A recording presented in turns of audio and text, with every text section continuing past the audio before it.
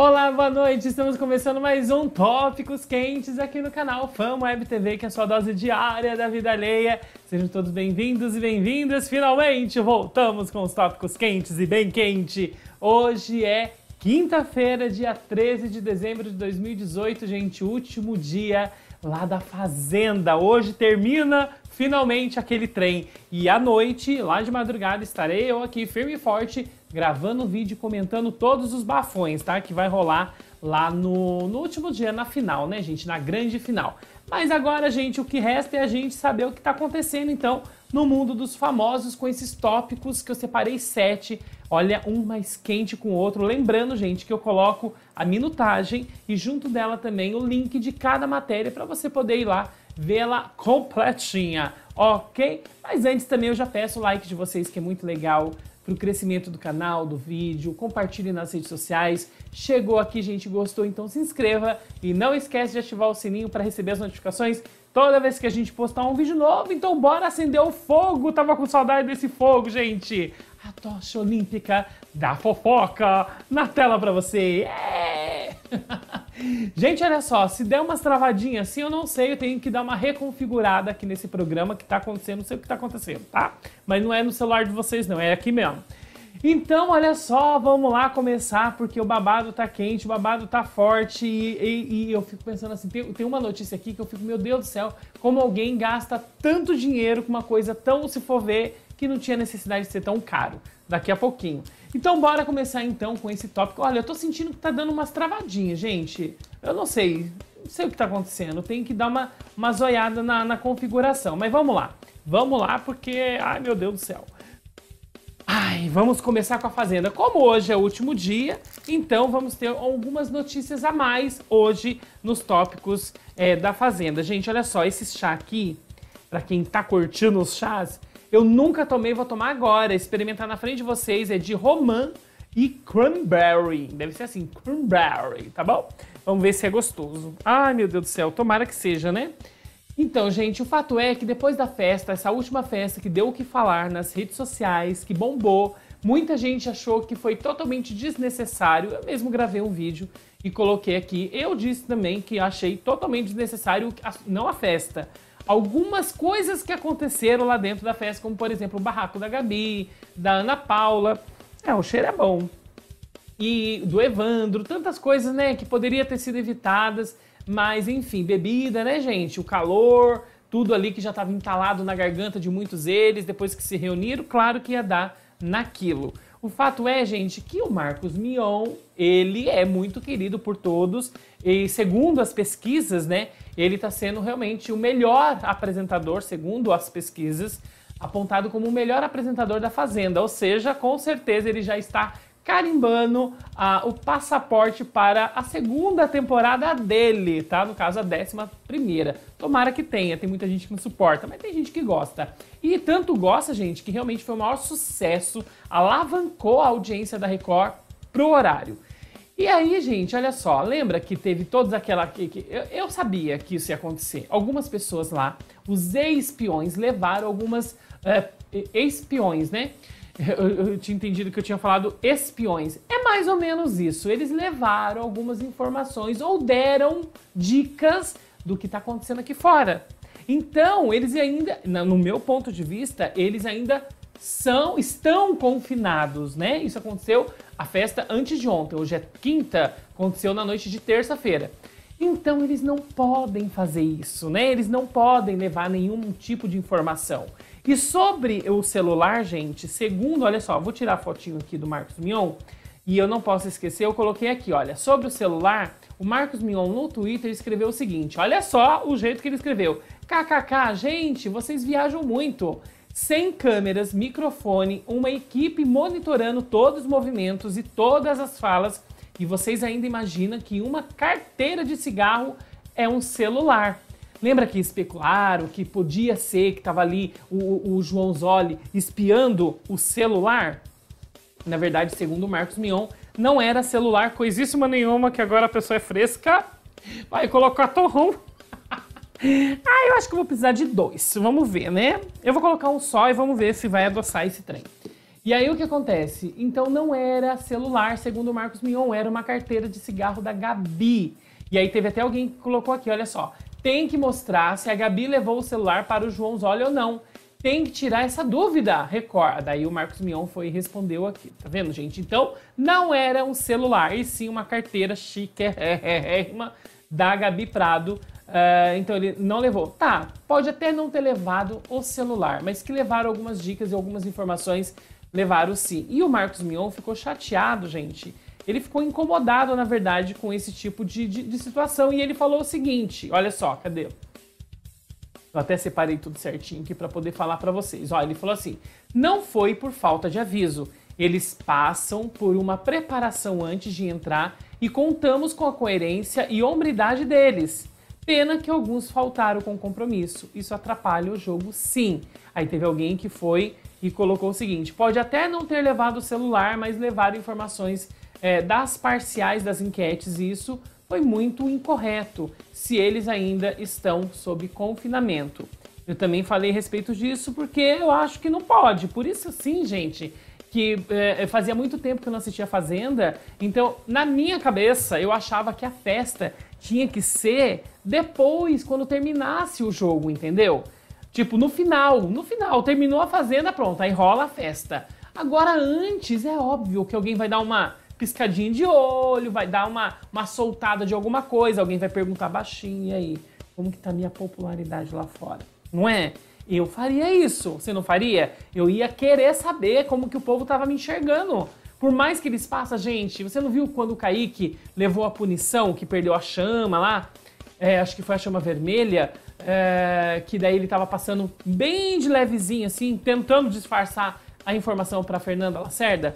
Então, é, é, complicado, né? Manter todo mundo ali em ordem, fazer com que ninguém solte alguma coisa. Eu achei que foi desnecessário, não tinha necessidade. Eu acho assim, esse povo que faz isso, que, que solta algumas pistas, gente, eu acho realmente são pessoas. É, sabe, criança? Criança que não tem maturidade nenhuma? Então eu vejo assim. Quem fez, quem fez e sabe que fez, entendeu? Lá no fundo sabe que fez, soltou alguma coisa, para mim não passa de infantilidade né? Não tem maturidade suficiente para poder manter a descrição, sabe? É isso aí. Então deixa aqui nos comentários, gente, que é muito importante o seu comentário também sobre esse babado da festa e sobre a posição do Marcos Mion que fica acompanhando tudo do lado de fora. E ele tá mais do que certo, não é isso? Então bora continuar, gente, tópicos de número 2 na tela para vocês. Gente, o cheiro tá tão bom. E o pior é que esse negocinho aqui eu nunca tomei. Esse torrãozinho aqui, é um cubinho doce. Ai, vamos ver se, se adoçou. Vamos lá? Adoçou. Tá ótimo. Pra que melado, né, gente? Então bora pro tópico de número 2 na tela pra você. Nossa, que chá gostoso, caraca. Ai, meu Deus, tudo agora é Rede Record, né, gente? A Rede Record está em alta, não sei até quando. Fábio Porchat, vocês sabem muito bem que ele largou, cansou, não sei o que foi, o bafão que deu ali dentro sobre o programa dele. Na verdade, eu sinto que ele ficou um pouco decepcionado com o, caminhar, o rumo que o programa dele estava tomando, porque ele é uma pessoa desbocada. Quem não conhece ele, gente, vai lá no canal Porta dos Fundos e vai saber realmente quem é o verdadeiro Fábio Porchat. E lá no programa, lá da Record, ele tinha que ser podado. E quando soltava algumas piadinhas, tinha o pi, era cortado, ou seja, não era ao vivo, então tinha edição. E aquilo, segundo as informações, SIC, segundo informações colhidas, ele ficou muito chateado com isso, porque ele se sentia assim, sabe, preso, amarrado, daí tinha que ser uma coisa muito é, engessada, na verdade. Ele não conseguia se soltar. Olha o gás, a cor do botijão tem que ser azul. Nananana. Você entende? Então ele não podia ficar à vontade e isso foi decepcionando, cansando, até que ele então decidiu não renovar o contrato. Só que eu acho que as pessoas têm que tomar cuidado com o que fala depois, quando sai de uma empresa, porque a gente não sabe o dia de amanhã. E o Fábio Porchat tem dado umas. É, é, é, é debochada, na verdade, é, feito umas piadinhas sobre a Rede Record, sobre o programa, sobre até o Marcos Mion, gente. Olha só. Segundo o site TV Foco, de Vitor Pecoli, Pecoli, deve ser, sei lá, é, como que é? De saída da Record com o fim do seu programa decretado, decretado Fábio Porchat fez piada com a emissora dizendo que Raul Gil o substituirá e ironizou o colega Marcos Mion dizendo que o dinheiro está sendo gasto com ele, com o Marcos Mion. Olha só, a zoação de Fábio Porchat foi durante o programa Diário Semanal apresentado pelo humorista Bruno Mota no YouTube. Tinha que ser no YouTube, né, gente? Tudo acontece aqui quando ele se transformou no personagem Fabíolo Dias, um fofoqueiro que é uma mistura da Fabiola Rapert com o Léo Dias. Abre aspas. Quem vai substituir o Fábio da Record? Vai ser o Raul Gil. É contenção de gastos. Vão tirar o sofá e botar o banquinho. Quem não lembra do banquinho, gente? É mais barato. Tá economizando, todas as TVs estão, né? Aí é só o banquinho facilita a vida de todo mundo, brincou ele. Mas lembra, toda brincadeira tem um fundo de verdade, ele estava com certeza alfinetando. A única coisa, eu acho que ele tá certo mesmo, assim, de ficar chateado com algumas coisas, mas igual eu falei, a gente não sabe o dia de amanhã, né? Então tem que tomar cuidado com as piadinhas, porque elas podem realmente não ser é, é, é, vistas com bons olhos. E aí a pessoa pode se queimar, né? Aí depois fecha as portas, não tem como voltar caso aconteça de querer voltar. E ainda continua, olha só, a Rede Record está gastando todo o dinheiro dela com Eiprotein para o Marcos Mion, bronzeamento artificial para ele. Os dentes são umas placas brancas que vêm da Antártida. Elas vêm sendo trazidas de barco, fecha aspas. Terminou então Mar é, Fábio Porchat brincando é, com a Rede Record. E aí, galera, se fosse você no lugar dele, depois de tudo que aconteceu, né? O programa realmente teve bastante audiência agora durante esse período da Fazenda. Bateu, olha, altos índices de audiência, mas antes disso não vinha gerando muito lucro para Record não, e você sabe como que funciona trabalhar na televisão, tudo lá é dinheiro. E aí, galera, o que vocês acharam? Você faria isso? Você acha que é legal essa atitude dele de brincar com a rede Record? Como eu disse, ele tem todo o direito de ficar chateado, igual eu, saí de uma empresa, fiquei chateado com muita coisa, mas nem por isso eu fico aqui falando, entendeu? Falo com, com as pessoas mais íntimas, né, em off, né, as coisas que eu, eu, eu, eu considerava que não era legal. E é assim, não é verdade? Porque nada é perfeito. Mas falar assim para todo mundo saber é complicado, né, gente? Então tem que tomar cuidado, Fábio Porchat, porque como eu disse, não sabe o dia de amanhã e pode estar tá comendo, é, cuspindo no prato que comeu. Mas boa sorte para ele, que eu acho que vai estar tá na Globo. É, se eu não me engano é isso, mas mais informações eu trago aqui. Então bora pro próximo tópico, tópico de número 3 na tela pra você. Ai, gente, olha só. Lembra que eu tinha comentado esses dias no videozinho curtinho falando sobre a separação desses dois Aí, porque assim, naquele mesmo vídeo eu comecei falando sobre uma matéria que eu vi no site TV Foco, e aí eu gosto de confirmar vendo em outros sites para ver se todos eles estão falando a mesma coisa, para não ser fake news. E parecia que era sim fake news, mas não do site TV Foco. Segundo as informações que estavam colhendo, ou aparentemente o povo estava vendo, observando que eles não estavam mais coladinhos como lá dentro da fazenda, né? Porque eu acho assim, se tá no começo, é amorzinho pra lá, amorzinho pra cá, tava lá na fazenda mostrando, esfregando a nossa fuça, então tinha que continuar aqui também, por que não? Aí, segundo a primeira informação, os dois tinham se separado por, pelo excesso de ciúme da uh, Luane Dias. E aí o Léo não tava mais afim, não sei o que lá.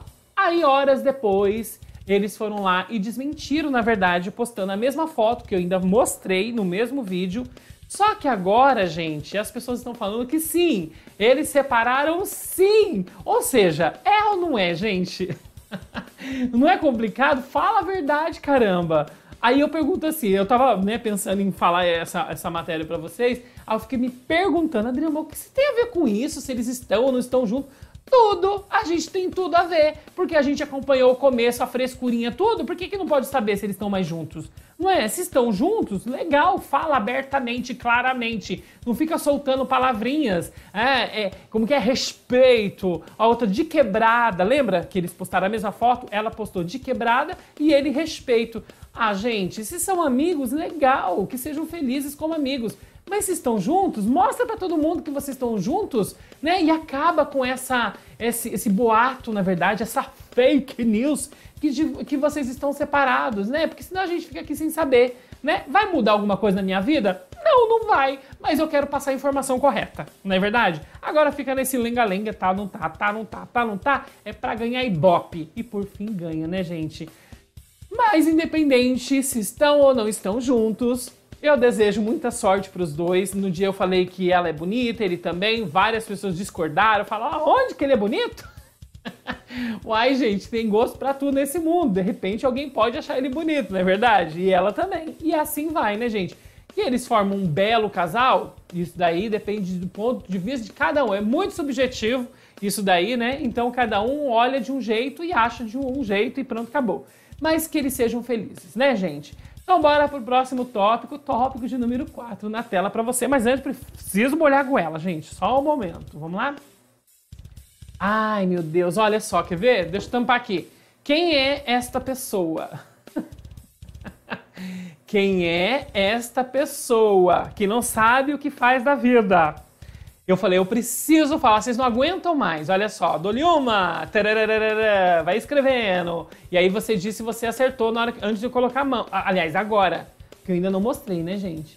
Não, não mostrei.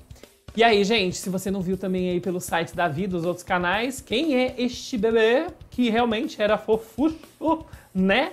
Mas pela foto preto e branco é uma foto antiga, né? Essa pessoa daí da foto já cresceu, já tá bem crescidinha e está numa maré bem baixa é o Eduardo Costa. Gente, eu estava vendo a Márcia Fernandes, a vidente, né? A se incentiva Márcia Fernandes, e ela estava falando assim, falei que eu ia tomar, né? Peraí.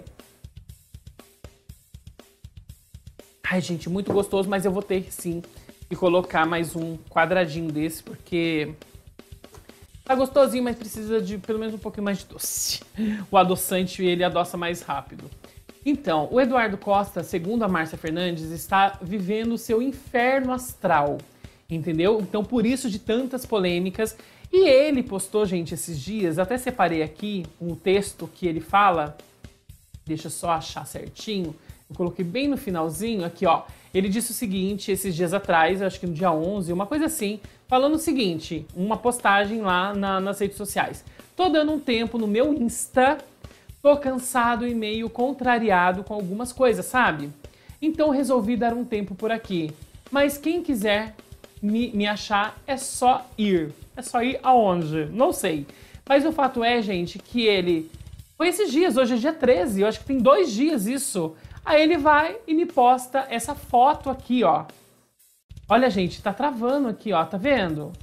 Vocês estão vendo aqui, ó? Tá travando? Ah, meu Deus do céu. Eu, eu, tenho que ver o que, que é isso. Porque, né, tava funcionando bonitinho. Deixa eu apagar e acender de novo o fogo. Calma aí. Apagar, acender de novo. Enfim, galera, deixa aí rolando, depois eu vejo o que, que tá acontecendo. Mas olha só, é, o fato é que eu acho que ele não sabe o que, que ele quer da vida dele, né? Ele, ele realmente ele tá precisando de um momento para ele poder se encontrar, porque ele tá completamente perdido, pelo menos é isso que eu noto. Porque uma pessoa que é, postou, aí tirou, posta de novo e tira, ou seja, não mantém opinião, aí depois tira, põe de novo o negócio, fica tirando, sabe assim? Aí fala que vai dar um tempo, um tempo de dois dias, né, gente? Eu acho que daí realmente tem alguma coisa acontecendo. O que? Não sabemos. Mas tomara de verdade que o Eduardo Costa se encontre e, e saia, né, gente, desse olho do furacão, porque realmente não é uma situação agradável não é?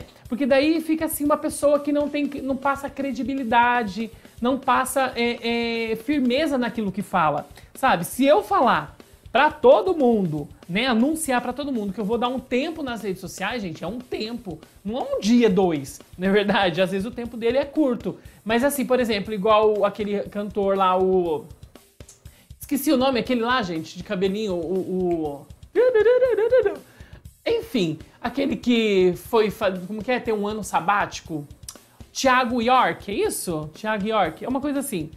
É, isso é tempo, né? Você realmente, ó, se afastar de tudo e pronto, acabou, né? Agora, eu fico, eu fico, eu não sei, eu fico meio pensando, o que será que está acontecendo com o Eduardo Costa para estar tá se envolvendo em tantas polêmicas, né? Aí pode alguém falar assim, ah, mas Adriano, isso não é polêmica. É, de uma certa forma é, porque assim, Por que, que ele então é, é, é, falou que ia dar um tempo e aí agora posta de novo? Não é, gente? Tá todo mundo ligado, mas como eu disse, mesmo com todos os blá blá blá e as coisas esquisitas que ele tem feito, tomara que ele não se queime, não queime, não prejudique a carreira dele com essas atitudes, não é? Porque olha, para construir uma carreira, gente, é muito difícil. Agora para destruir é assim, ó, pá pá pá. Você sabe disso, né? Um segundo destrói tudo. Então, toma cuidado, Eduardo. Muita sorte para você e olha, melhora aí nesses nessas postagens, no que você fala, no que você escreve, tá? Não que você não tenha que ter opinião, mas tem que tomar cuidado, só moderar certinho e aí você vai ser continuar sendo muito feliz, tá bom? Então, sucesso. Então, bora pro próximo tópico, tópico de número 5 na tela para você. Eu falei que hoje a gente ia falar bastante da Fazenda e, mais uma vez, gente, essa festa, na verdade, o show de horror, né?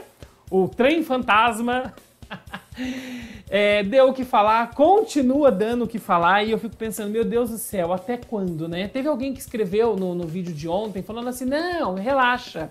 Calma que isso aí vai passar. Quando terminar a fazenda, passar uma semana, duas, três, todo mundo cai no anonimato de novo, segundo lá tá o comentário. E, e é verdade, né, gente? Acontece com todos os reality show. Esfria, acalma, né? E aí cada um vai seguir sua vida e é isso aí que acontece. Mas a, enquanto isso não acontece, olha, gente, esse fogo tá me incomodando. Olha isso. O que tá acontecendo, meu Deus? Não é? Ai, pai poderoso, viu? Que preguiça. Vamos lá. Olha só o que, que tá acontecendo, gente. Uh, tarará, cadê, cadê, cadê, cadê? Olha, Gabi Prado rebate comentários de Evandro e o chama de fiscal de camisinha. Hum? Gente, olha só. O clima pós-festa lá na Fazenda continua tenso. E nesta quarta-feira, dia 12 de dezembro, ou seja, ontem, Gabi Prado usou suas redes sociais para se defender dos comentários do Evandro. Ou seja, um ataca o outro e cada um fica se defendendo, né? Ou seja, não tem ninguém certo, ninguém errado. Todo mundo é doido, sabe, gente? No meu ponto de vista, todo mundo é doido. E olha só, feitos durante a entrevista, os comentários do, que o Evandro fez durante a entrevista lá para Flávia Viana da Record. O humorista alegou que o casal não usou métodos contraceptivos em suas relações. Hum? Abre aspas. Ela não respeita o público feminino. Isso o Evandro falando, tá? A gente tinha patrocínio de camisinha, e é verdade, lembra que ficava mostrando o tempo inteiro? Na casa e eu não vi ninguém usando. Uma pessoa que tem 30 anos e faz isso não pode falar de empoderamento e respeito. Se eu não represento os gays, você não representa a saúde pública.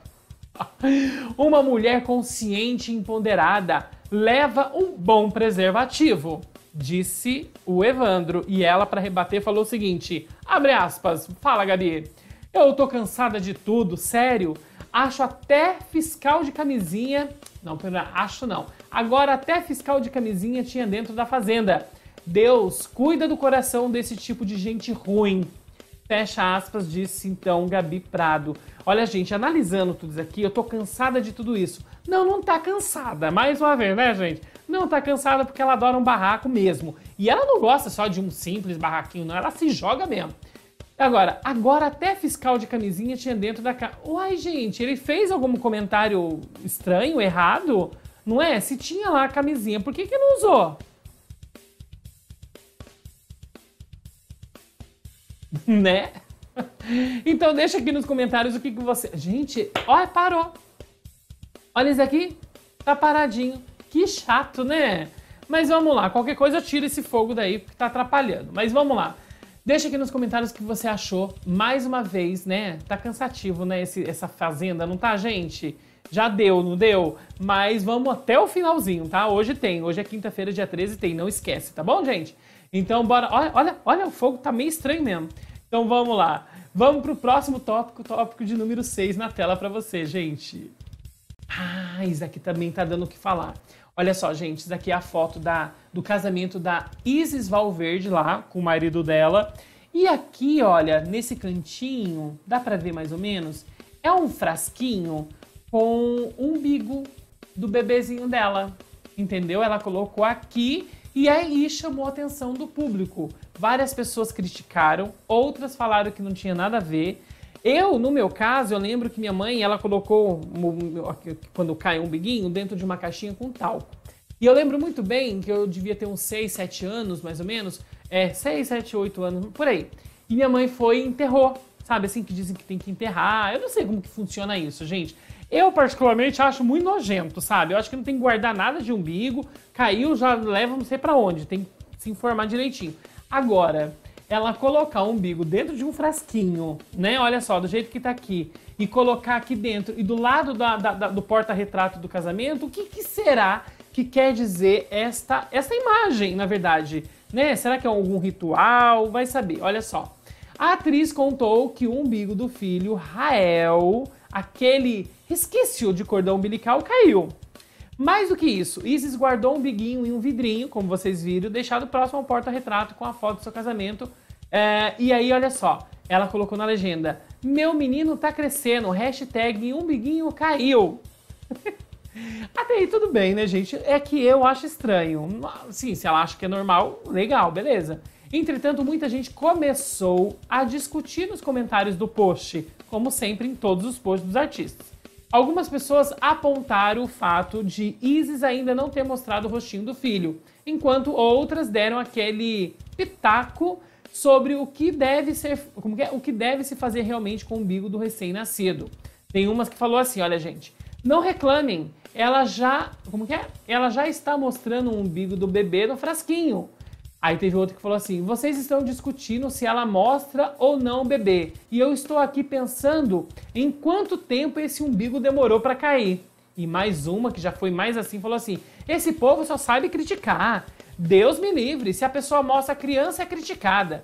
Tipo, não sabe segurar, não sabe isso, não sabe aquilo, é uma péssima mãe. E se não mostra, é aquela frescura também. Que meu Deus do céu! Pior que é verdade, né, gente? E teve outro que falou assim: minha mãe também guardou nossos umbigos no vidrinho. Até o dia que eu ouvi de uma senhorinha bezedeira que aqui em Minas, aqui de Minas, que o umbigo, quando cai, precisa ser enterrado. Aí minha mãe fez certo. Devolvido para a mãe Gaia. Senão a criança não se aterra, não prospera. Olha, gente, é que eu gostei da mãe Gaia. É mãe terra, né? O que quer dizer?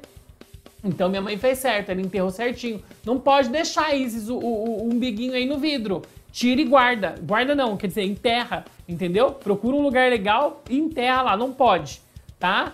É, é, e outra, fica estranho mesmo ver o umbiguinho aqui, ó. Não é esquisito? Eu acho estranho, gente. A pessoa você passa lá perto do, do, do da, da, penteadeira, sei lá onde que é isso, aí você olha a foto e olha um umbigo, um pedaço de carne podre lá. Ai! Olha, gente, carne podre. Não é que fica podre, mas não é estranho, fica seco. Ai, me dá um certo troço assim por dentro, não sei. Mas deixa aqui nos comentários o que você achou, então, desse gesto dela colocar. Eu sei que é bonitinho pra ela, tudo, mas eu acho que não sei, tá bom? Então bora lá pro último tópico, tópico na tela pra você, gente. lembra que eu falei no comecinho que tem pessoas que gastam dinheiro, meu Deus, gastam uma fortuna, às vezes com coisa boba é esse daí. Mais uma vez, Wesley Safadão surpreendeu todo mundo ostentando. Ou seja, quem pode, pode, quem não pode, fica quieto igual nós, ou chupa o dedo. Mas que eu acho que é totalmente desnecessário, eu acho. Eu sei que ele faz o dinheiro dele, gente, olha, o que ele quiser. Mas o que vocês vão ver, olha só, gente, presta atenção. Ai, com a agenda cheia de compromissos, segundo o site TV Foco de Francisco Almeida, tá? Wesley Safadão continua faturando uma verdadeira fortuna com os shows que realiza pelo Brasil. Tanto que fez outra, o cantor fez questão, gente, de ostentar e acaba virando assunto mais uma vez, né? Uns achando bonito, legal e outros criticando. E de acordo com informações do Léo Dias, Wesley Safadão arrematou. Arrematou, acho que é no leilão, né, gente? Leilão mesmo, olha só. Arrematou uma égua na terceira edição do leilão Rancho Vale Rico. Ou seja, só vão rico, não é para nós, gente. que aconteceu no fim de semana. Agora, pasme, estão sentados? Estão deitadinhos? Preparem-se. Olha só, gente, presta atenção. É uma égua, tá? Uma égua. Não é que eu estou desvalorizando a bichinha, mas olha só o preço. Ele pagou, gente, um milhão de reais. Na verdade é 1 milhão e 11 mil reais 600 parará, tá? Pela eguinha, pocotó, pocotó, pocotó, pocotó. Que eguinha mais cara, pocotó, pocotó, pocotó. Gente, o que que é isso? Um milhão de reais por uma égua. O que, que ele vai fazer com essa égua, Wesley Safadão? Conta pra gente, por favor. Eu quero muito saber. Ela é feita do quê? É ouro? O que, que tem nessa égua, gente? Não é? É caro mesmo, assim, um milhão? Uma égua? Você aí que tá assistindo a gente, que tem fazenda, que tem sítio, né, gente? Ou conhece alguém que tem, faz favor para mim, pergunta quanto custa uma égua para saber se realmente é tudo isso. Um milhão de reais. Olha, é praticamente uma mega cena, né? De alguém ganhar um milhão de reais. Meu Deus do céu! É muito dinheiro, dá para comprar mais de não sei quantas casas populares, umas três, quatro casas. Ó, pra você ver, gente, né? Não é da gente ficar assim de, de boca arreganhada. E aí, quem não lembra quando ele comprou o, o Dom, o cavalo, né, de presente pro Dom. Aliás, o Dom é o filho dele, não é isso? Comprando um cavalo de presente para o Dom. É. E o, o, animal, gente, também custou uma fortuna. Mais de 2 milhões e 200 mil reais na época. E foi dividido, ainda foi dividido em 40 parcelas de 56 mil reais. Meu Deus, eu faço uma parcela, eu compro, sei lá, uma cueca, vamos dizer assim. Eu parcelo lá em três vezes de 30 reais, já acho muito. Agora, 40 parcelas de 56 mil reais, aí depois vai e me compra, né? Arremata uma égua de um milhão de reais, gente. É porque tem muito dinheiro, né? Esse povo, tá vendo? Tem que tomar cuidado porque dinheiro acaba. E a gente viu, eu já vi vários artistas que hoje estão, ó pobres de Marredeci porque não souberam administrar o dinheiro.